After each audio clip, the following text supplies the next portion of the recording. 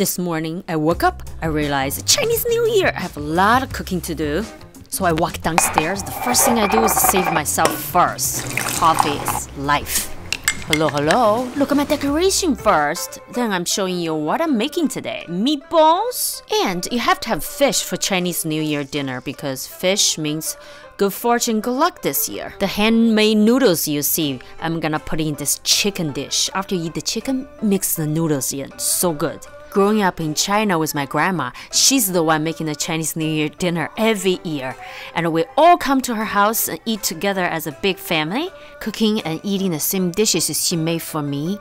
I feel like she's sitting right next here, looking over us.